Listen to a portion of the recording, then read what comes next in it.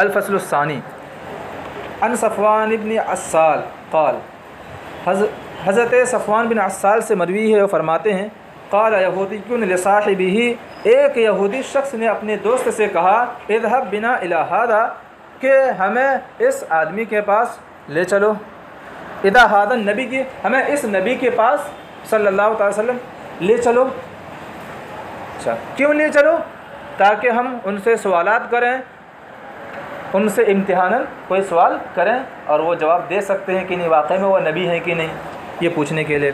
फ़काल लहू साहिब हो तो उसके साथी ने कहा, जिससे कह रहा था, उसके साथी ने कहा, ला तकुल नबी नबी मत कहो।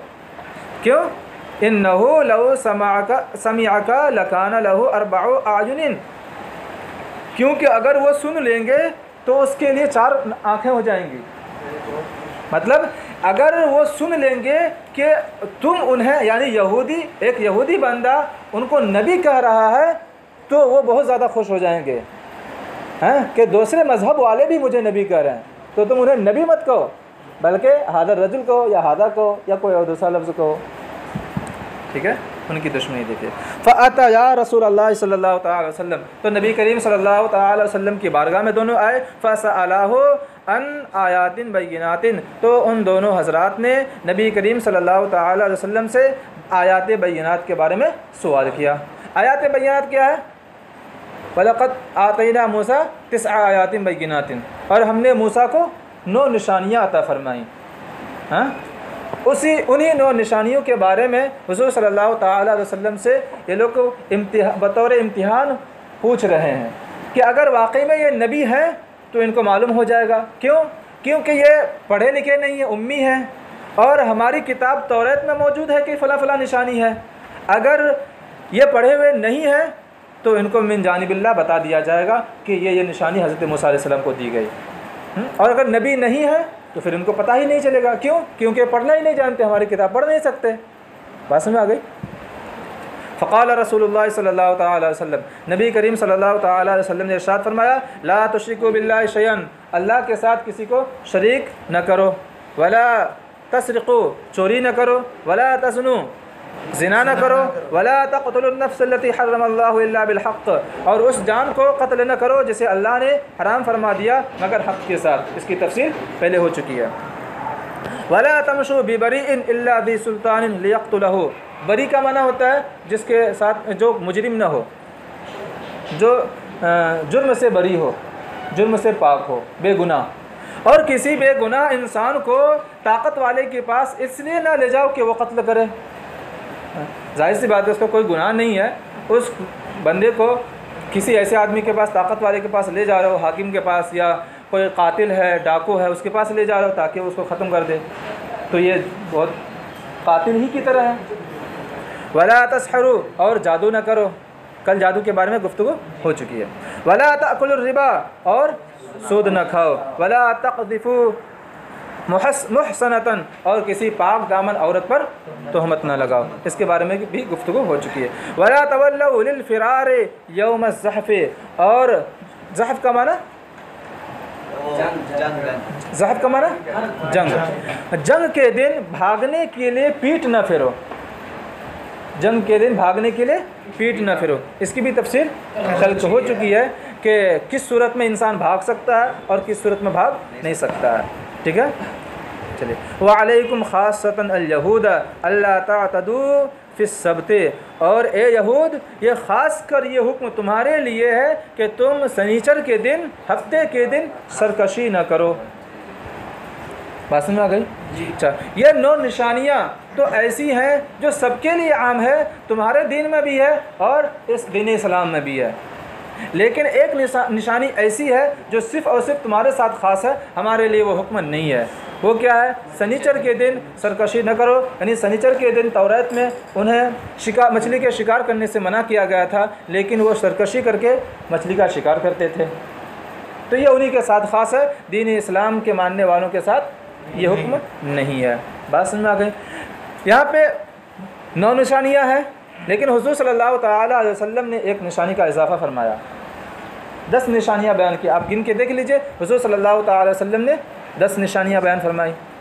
तो नौ निशानियाँ तो उनके सवाल के जवाब उनका सवाल उनके सवाल का जवाब है। और एक निशानी ये है कि एक इजाफा कर दिया गया ताकि उनका जुर्म साबित हो जाए।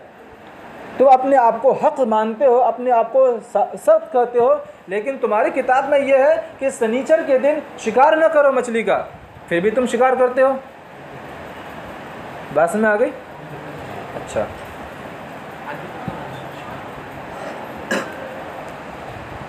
आज तो वो हुक्म मनसूख हो गया, उनका दिन ही मनसूख हो गया। तो अब वो शिकार करे ना करे वैसे कोई बात नहीं है। बस में आ गई? काला, रावी कहते हैं फ़क़बला यदय व रिजलय है तो इन दोनों हजरात ने आप अलैहि वसल्लम के दस्ते मुबारक और पाँव मुबारक चूम लिया, बोसा दिया? वक़ाल, और कहा, नशहद अन्न का नबी गुन अच्छा इससे पता चलता है कि किसी बुज़ुर्ग का हाथ चूमना, किसी बुज़ुर्ग का पाँव चूमना जायज़ और दुरुस्त है। क्योंकि अगर नाजायज़ होता तो हजूर सल्ला वसल्लम फ़ौरन मना फरमा देते। ठीक है? तो पाँव को बोसा देने के लिए झुकना, ये सजदा नहीं है, बल्कि ये बोसा देना, बल्कि ये जायज़ है। मुस्ताब है। और बसावक़ात पीर मुर्शिद कराम वालदेन के लिए ऐसा करना। चलिए। वक़ार और कहा कि हम गवाही देते हैं कि आप नबी हैं। क्या मतलब? ये गवाही देना ईमान वाली गवाही नहीं है। हाँ। बल्कि इसका मतलब ये है कि हमें मालूम हो गया, हमें यकीन हो गया कि आप नबी हैं। लेकिन अब भी वो नहीं मान रहे हैं। नबी पर सल्लल्लाहु अलैहि वसल्लम पर ईमान नहीं ला रहे कैसे पता चला? आगे देखें काला नबी करीम सल्लल्लाहु अलैहि वसल्लम ने इरशाद फरमाया फमा नाकुम अन तत्तबिउनी तो फिर कौन सी चीज़ तुम्हें रोक रही है कि मेरी इत्तबा करो?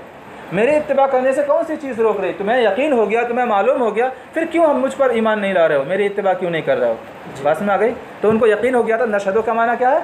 ना अलमो ना काला उन दोनों ने कहा इन दाऊद दा रबहू अल्लाह यजाल अल्लाह यजाल मिन ज़ुर्रियती नबी उन दोनों ने कहा कि हज़रत दाऊद आसमाम ने अपने रब से दुआ की कि उनकी ज़ुर्रियत ही में नबूत रहे कि जो भी नबी आए उनकी ज़ुर्रियत ही में नबी आए। पास में आई? जी। इससे क्या कहना चाह रहे हो? इससे कहना चाह रहे हैं एक मनतिकी तौर से वो इनकार भी करना चाह रहे हैं। दलाइल के ज़रिए से तो उन्होंने आप सल्लल्लाहु अलैहि वसल्लम को नबी मान लिया।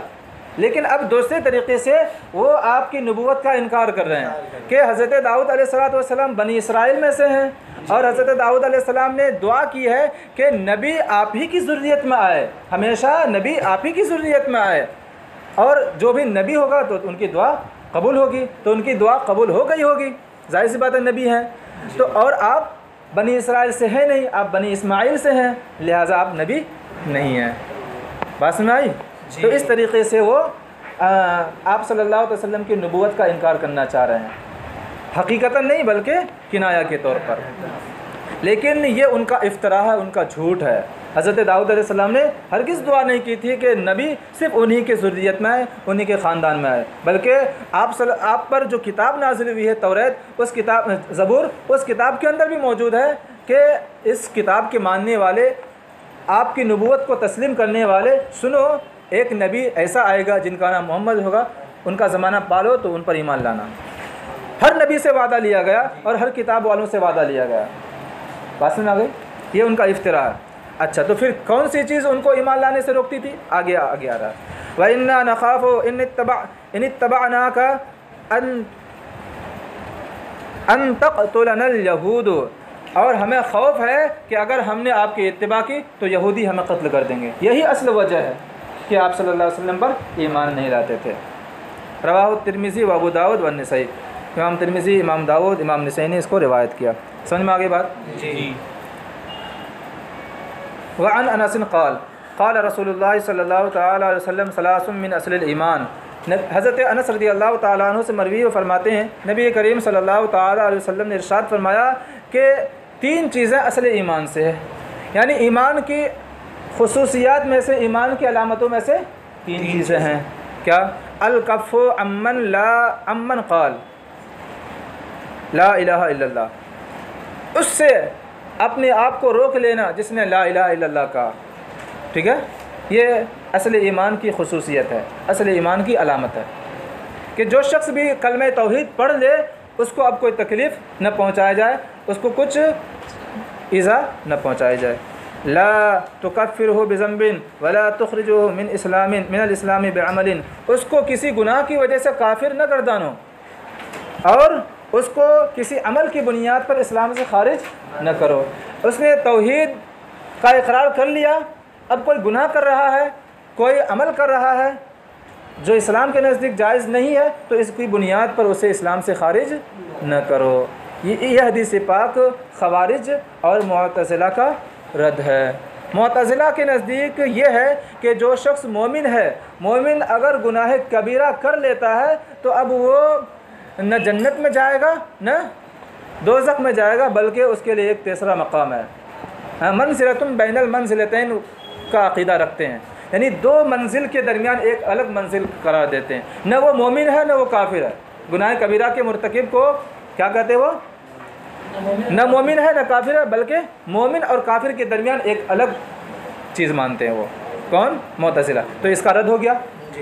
अच्छा खवारिज कहते हैं कि अगर किसी ने गुनाह कबीरा का इरतकब कर लिया तो वो मोमिन ही नहीं है। वो मोमिन नहीं है वो इस्लाम से निकल गया। लेकिन यह हदीस पाक कह रही है कि इस्लाम से नहीं निकला किसी गुनाह की वजह से। पास में आ गई? तो खवारिज का भी रद्द है। कल हमने एक फ़िरक़े का रद्द पढ़ा था फ़िरक़े मुरजिया ठीक है? कल मैंने मर्जिया पर बोला था, लेकिन फ़िरक़े मुरजिया। उनका अकीदा क्या है? कि इस्लाम ला लो और जो भी करो, इस्लाम, कोई फ़र्क नहीं पड़ता। हाँ? मुरजिया का मतलब उम्मीद रखना। वो उस कदर, इस कदर ज़्यादा उम्मीद रखते हैं कि इस्लाम लाने के बाद जो है, अब कोई चीज़ उनको नुकसान नहीं पहुंचाएगी। यानी क्या? कहाँ से चला था? अब फ़िरक़े की हिस्ट्री पढ़ेंगे तब पता चलेगा। हर एक की हिस्ट्री अलग अलग है हुँ? एक किताब है, फितनों का जहूर। हाँ मोहम्मद अहमद मिसबाई साहब की है हाँ? अरबी में लिखी थी उन्होंने किताब। अरबी में है, लेकिन इसका इसका तर्जमा उर्दू में आ चुका है। उसको पढ़िए, उसमें सारे फ़िरक़ों के बारे में आपको बताया जाएगा। हाँ? फितनों का ज़ोर एक निशानी हो गई कि जो शख्स तोहद का इकरार करे, उसको, उससे अपने हाथ को रोक लो। वल जिहाद मादिन। मुज बासनी बासनी अल्लाक़ातिल आखिर हादिल उम्मती अद्दजाल दूसरी खसूसियत बता रहे हैं, असल ईमान की। जिहाद जारी रहेगा या जारी है? जिहाद जारी है, जब से अल्लाह तबारक व ताली ने मुझे मबरूस फरमाया, भेजा, उस वक्त से जिहाद जारी है। यहाँ तक कि इस उम्मत का आखिरी फ़र्द या इस उम्मत का आखिरी गिरोह दज्जाल से मुकाबला करे। उस वक्त तक जिहाद जारी रहेगा, ये असल ईमान का असल ईमान की एक निशानी है। मतलब ये है कि आज से लेकर के क़यामत तक, जब तक के दज्जाल न निकल आए, उस वक्त तक जिहाद जारी रहेगा। जब भी ज़रूरत पड़ेगी जिहाद की, लोग आएँगे, उम्मत हक़ सामने आएगी और फिर बातिल फ़िरक़ों से, बातिल ताकतों से मुकाबला करेगी। बस में आ गई। जिहाद का ख़ात्मा नहीं होगा। जब भी ज़रूरत पड़ेगी, लोग सामने आएँगे और जिहाद करेंगे। ला युबतलहू जौर जायरिन वला अदल आदिलिन। जहाद को किसी ालिम का जुल्म और किसी आदिल का अदल बातिल नहीं कर सकता। बस में आ गई? यानी जहाद का हुक्म उस वक्त तक रहेगा, कोई जुल्म करके जहाद का हुक्म ख़त्म कर दे। बस में आ गई? कोई ये फैसला कर दे कि अब जहाद नहीं है, जहाद ख़त्म हो गया। जहाद की जहाद की ज़रूरत है, फिर भी जहाद का हुक्म न दे और इस्लामी सल्तनत हो। तो ऐसा नहीं हो सकता। किसी जाबिर यानी किसी ालिम का जुल्म और किसी आदिल का आदल जहाद को ख़त्म नहीं कर सकता बातिल नहीं कर सकता। दूसरी अलामत हो गई। तीसरी अलामत वल ईमान बिलअक़दार और तकदीरों पर ईमान लाना। जो भी अच्छा हो या बुरा हो अल्लाह की जानब से है अल्लाह के तकदीर से है इस पर ईमान लाना ये ईमान असल ईमान की एक निशानी है। रवा अबू दाऊद। हाँ? जौर का माना जुल्म। ज़ाहिर का मना ालिम किसी ालिम का जुल्म जहाद को बातिल नहीं कर सकता। और किसी आदिल का आदल जहाद को बातिल नहीं करेगा। वान अभी हुरैर क़ाल क़ाल सल्लल्लाहु अलैहि हज़रत हज़रत अबू हुरैरा तआला अन्हु से मरवी फरमाते हैं नबी करीम वसल्लम ने इरशाद फरमाया इदा ज़नल अब्दु खरजा ईमान।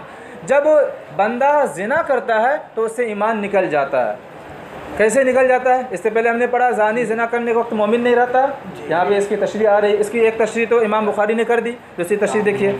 उससे ईमान निकल जाता है, फ़काना फ़ौकर से ही कसजुल्लते तो ईमान निकल कर उसके सर के ऊपर छतरी की तरह हो जाता है। यानी नूर ईमान उससे निकल निकल जाता है और छतरी की तरह ऊपर रहता है। देखिए।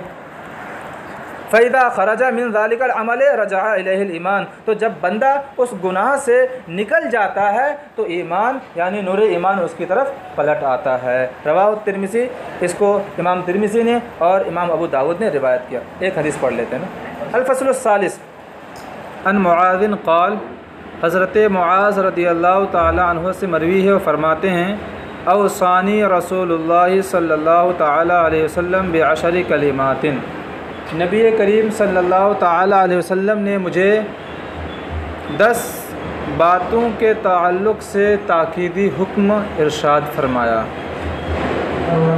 वसीयत का माना, लफ्ज़ी माना यह है कि किसी चीज़ के ताल्लुक़ से ताकीद के साथ हुक्म देना, ताकीदी हुक्म देना, यह वसीयत, लफ्ज़ी और लगवी माना।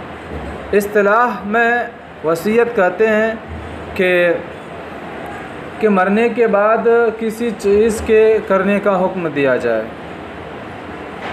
साल के तौर पर कि मैं इस दुनिया से चला जाऊँ तो फ़लाँ काम कर देना।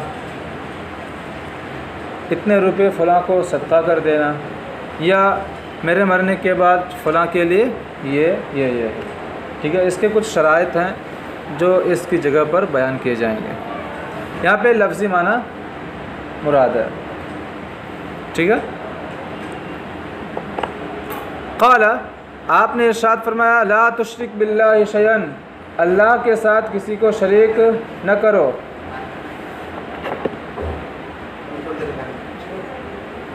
वाइन कतिलता वहर्रता अगरचे अगरचे तुम कत्ल कर दिए जाओ, अगरचे तुम जला दिए जाओ।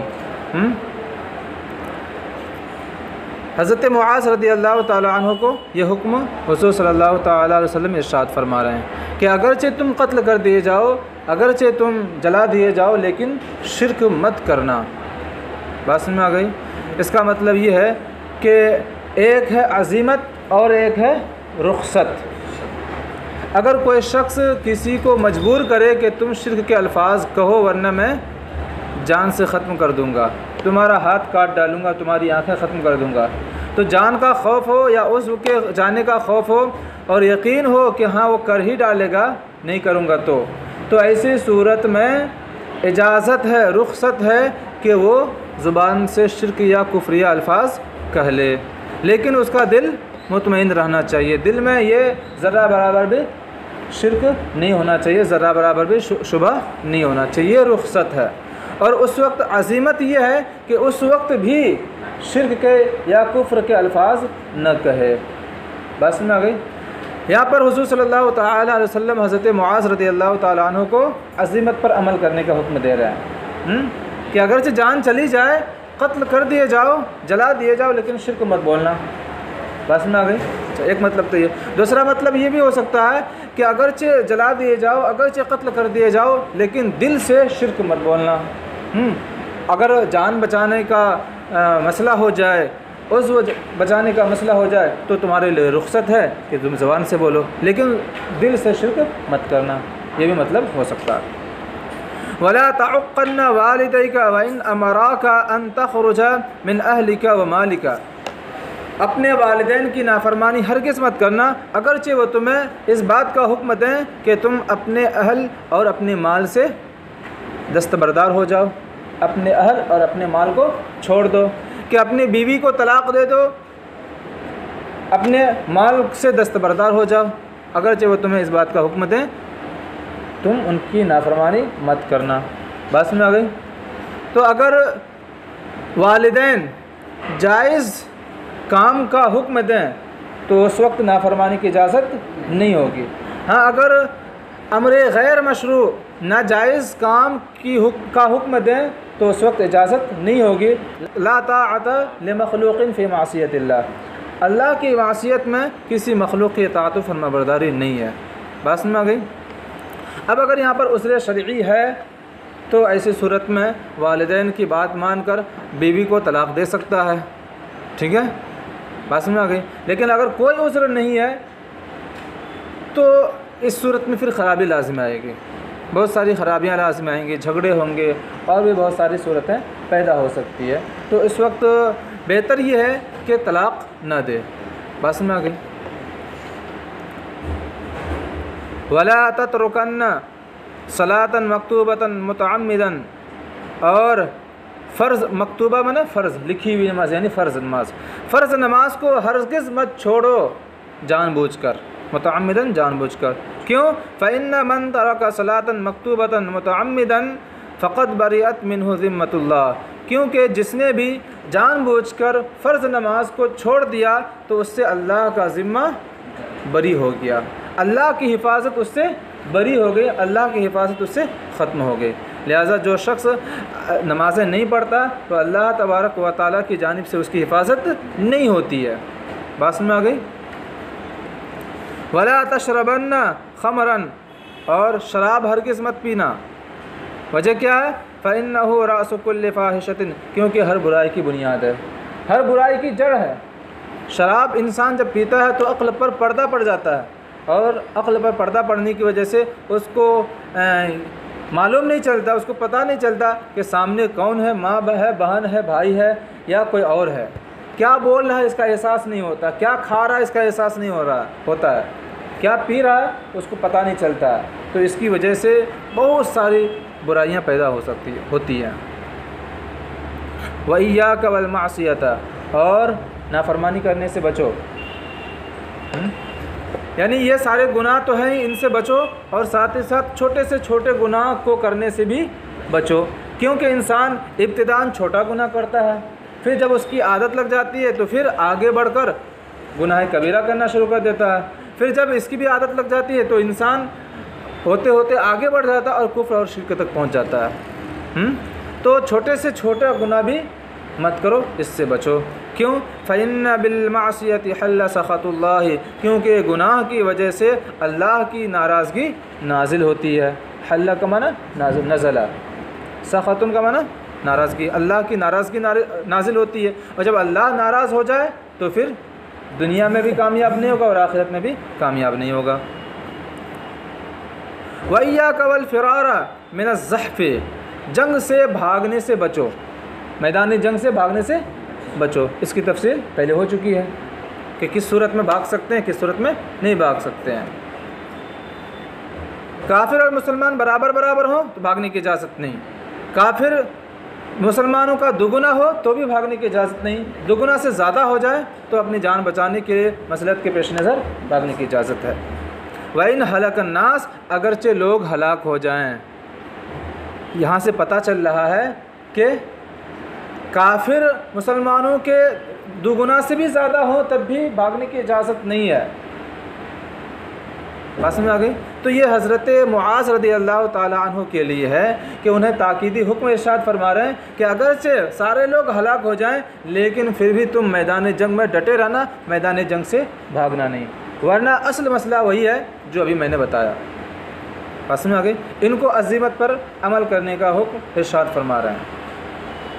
वैदा असाबन्ना समौतन वन तफ़ीम फतबुत और जब लोगों में मौत आ जाए लोगों में मौत आ जाए मतलब? यानी लोगों के दरमियान कोई ऐसी वबा आ जाए जिसकी वजह से लोग कसरत के साथ मरने लगें जैसे कि अभी हमारे साथ, हमारे सामने क्या आया था? कोरोना वायरस का सिलसिला आया था। तो वन तफ़ीम इस हाल में कि तुम उन लोगों के दरमियान रहो, फसबुत तो तुम वहीं पर कायम रहना, वहाँ से बाहर मत निकलना। हुँ? कोई वबा आ जाए जिसकी वजह से मौत कसरत के साथ हो और तुम उसी बस्ती में रहो या उसी शहर में रहो तो वहाँ से बाहर मत निकलना। एक दूसरी हदीस पाक में है कि वहाँ से बाहर मत निकलना और जो बाहर के लोग हैं, उस बस्ती या उस शहर में ना आए। बात समझ आ गई? अच्छा ये हदीस पाक में हुजूर सल्लल्लाहु अलैहि वसल्लम ने चौदह सौ साल पहले हुक्म दिया और आज हुकूमत उस पर अमल कर रही है। कोरोना वायरस का जब मामला आया था तो हुकूमत क्या कर रही थी? लॉकडाउन लगा रही थी कि यहाँ से एक शहर से दूसरे शहर ना जाएँ। वरना क्या होगा? वायरस फैल करके फिर बीमारी बढ़ जाएगी, लोग कसरत के साथ मरने लगेंगे। जहाँ पर यह था कि एक ही बस्ती के लोगों लोगों को मरने का इम्कान था तो अब पूरा शहर और फिर आगे जा कर पूरा पूरा मुल्क परेशानी में मुबतला हो जाता। बात सुना गई। अच्छा। यहाँ से पता चलता है कि बीमारी एक जगह से, एक बदन से हटकर दूसरे बदन में पहुँच जाती है। है ना? समझ में आ रहा है ना? जब ही तो मना कर रहे हैं कि वहाँ से बाहर मत निकलना, वरना बीमारी दूसरी जगह पहुँच जाएगी। एक हदीस पाक में, ला अदवा वाला थी रहता, कि बीमारी मुतदी नहीं होती है और बीमारी उड़ कर भी नहीं जाती है। दोनों हदीस में क्या? है ज़ाहिरन तारुज़ नज़र आ रहा है तो हकीकत में कोई तारुज़ नहीं है। ज़माने जाहलीत में ये अकीदा था कि जो भी बीमार होता, उसके पास नहीं जाते। ये समझ कर नहीं जाते कि जो बीमारी उस शख्स को है, वही बीमारी मुतदी होकर मुझे लग जाएगी, या वही बीमारी उड़ कर मुझे लग जाएगी। इस एतक़ाद के साथ लोग बीमार शख्स के पास नहीं जाते थे। तो एतक़ाद क्या था कि बीमारी मुतदी होकर, वही बीमारी उठकर दूसरे के पास चली जाती है, या वही बीमारी उड़कर दूसरे के पास चली जाती है। हालाँकि ऐसा मसला नहीं है। बल्कि होता यह है कि बीमारी एक जगह से दूसरी जगह मुंतकिल नहीं होती है, बल्कि बीमारी जिस बुनियाद पर होती है, जिन कीड़ों की वजह से होती है, वो कीड़े एक जगह से दूसरी जगह चले जाते हैं। बस में आ गई? जिसको हम वायरस कहते हैं। छोटे छोटे ज़र्रात होते हैं। ये ज़र्रात की वजह से बीमारियाँ पैदा होती हैं। हमारे जिसम में बहुत तरह के कीड़े हैं। अगर उनको उनको कुछ खलल वाक़ हो जाए उनकी हालत बदल जाए तो हमारा जिस्म भी बदल जाता है। तो हमारे जिसम के अंदर बीमारी पैदा हो जाती है। तो मतलब यह है कि वो वायरस या वो जरासीम एक जगह से दूसरे बदन में चले जाते हैं। अब फिर इस बदन में आने के बाद हो सकता है कि वो जरासीम, वो बीमारी पैदा कर दे। ये भी हो सकता है कि बीमारी पैदा ना करे। पास में आ गए तो बीमारी मुंतकिल हुई? नहीं, बल्कि बीमारी जिस वजह से होती है, वो वजह मुंतकिल हुई। हाँ तो इसमें कोई हरज नहीं, दोनों हदीसों में कोई तारुज़ नहीं है। इस बुनियाद, हजूर अक्रम वसल्लम ने ला अदवा वला तियारता सिर्फ़ इसलिए बयान फरमाया था कि जो एतक़ाद था ज़माने जाहलीत में, वो एतक़ाद ख़त्म हो जाए। कि बीमारी मुंतकिल नहीं होती है, बल्कि बीमारी जिस वजह से, जिस सबब से है, वो सबब मुंतकिल होता है। तो एतक़ाद अलग है ना? बात वही है, एतक़ाद अलग है एतक़ाद की वजह से बहुत कुछ हुक्म में आ जाता है। बात में आ गई? अच्छा कोई ज़रूरी नहीं है कि वो सबब यहाँ आने के बाद क्या हो जाए, बीमारी पैदा करे। बात समझ आ गई? कोई ज़रूरी नहीं कि वो जरासीम मेरे बदन में आने के बाद बीमारी पैदा करे। हो सकता है कि वो जरासीम मेरे बदन में आए और उसकी हालत बिल्कुल दुरुस्त हो जाए। वो अपने नॉर्मल हालत में आ जाए तो बीमारी पैदा नहीं करेगा। बात समझ आ गई? अच्छा। वन फ़िक अला अयाली का मिन तौली का अयाल कहते हैं उन लोगों को जिन लोगों की ज़िम्मेदारी उस फ़र्द पर होती है। हाँ? जिनकी कफ़ालत, जिन लोगों की कफ़ालत बंदे के ऊपर है, उस बंदे के, वो सारे लोग क्या है? अयाल हैं। जैसे माँ है, बीवी है, बच्चे हैं, ये सब इनकी ज़िम्मेदारी, इनकी कफ़ालत एक शख्स पर होती है तो वो सारे के सारे लोग अयाल हो जाएँगे। तौल का माना होता अच्छा माल, और अपने अच्छे माल से अपने अहल अयाल पर ख़र्च करो। वला तरफ़ा अनहम असा का अबदन, अदबन, और अदब सिखाने के लिए अपनी लाठी उनसे दूर न करो। बस में आ गई? यानी अपना असा और अपना कोड़ा अदब सिखाने के लिए सामने रखो। यानी ज़रूरत पड़े पड़े तो अदब देने के लिए उनको बकदर ज़रूरत मारो भी। बस में आ गई? असलाह की गर्ज से अदब देने के लिए। लेकिन अजियत पहुँचाने के अजियत पहुँचाना मकसद हो, अजाब देना मकसद हो, तकलीफ़ पहुँचाना मकसद हो तो जायज़ नहीं है। अदब सिखाने के लिए तो दुरुस्त है। हज़रत उमर फ़ारूक रदी अल्लाह फरमाते हैं कि अपना कोड़ा वहाँ पर लटकाओ जहाँ पर लोग देखें, यानी अहल अयाल घर वाले देखें। हैं? कि घर वालों की निगाह पड़ेगी कोड़े पर तो घर वाले क्या रहेंगे?